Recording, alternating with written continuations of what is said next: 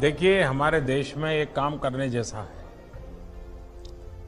आप देखते होंगे हम लोग जब स्कूल से निकलते हैं तो स्कूल लिविंग सर्टिफिकेट मिलता है, character certificate. School living certificate के साथ कैरेक्टर सर्टिफिकेट मिलता है। आप सबको भी मिला है ना? मिला है ना? जो अच्छा मज़ा देखिए, जो जेल में है, उसके पास भी कैरेक्टर सर्टिफिकेट है। हम सबके पास भी कैरेक्टर सर्टिफिकेट है। अब देश को आवश्यकता उसमें बदलाव करने की है। कैरेक्टर सर्टिफिकेट के बजाय हम एप्टीट्यूड सर्टिफिकेट दे सकते हैं क्या? और क्या आप जैसे नौजवान एक ऐसा स्टार्टअप शुरू कर सकते हैं? और मैं समझता हूँ टेक्नोलॉजीज़ हो सकता है। सोशियोलॉजी साइकोलॉजिस्ट टेक्नीशियंस इन सबको मिलाकर के एक ऑनलाइन एप्टीट्यूड टेस्ट, इसका एक प्लेटफॉर्म खड़ा किया जा सकता है क्या? और माँ बाप बच्चे के जन्म से लेकर के उसकी आदतों के संबंध में उसके अंदर डिटेल भरते चले भरते चले और सॉफ्टवेयर एनालिसिस करें। और बताएँ कि ये बच्चा आपका इस इस प्रकार का बिहेवियर करता है मतलब ये इसके अंदर इनहेरेंट क्वालिटी पड़ी है, इनहेरेंट टैलेंट पड़ी है। माँ बाप को गाइड करता चले।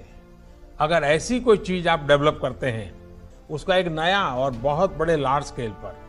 और हर आज देखा होगा आपने ट्वेल्थ के एग्ज़ाम के बाद बहुत परिवार काउंसलिंग के जा, लिए जाते हैं बहुत बड़ा पैसा देते हैं।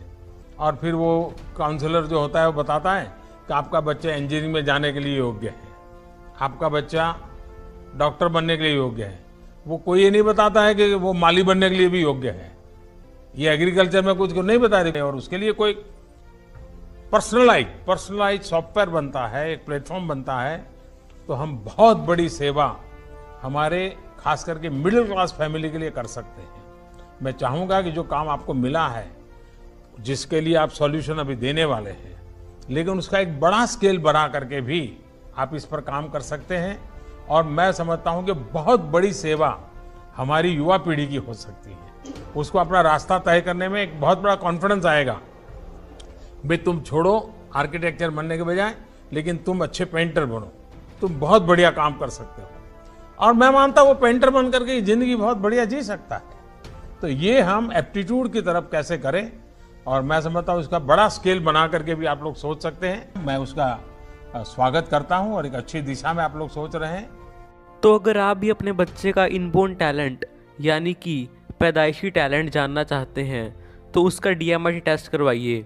और जानिए कि उसमें क्या खास बात है। वो बाकी बच्चों से किस तरह से अलग है।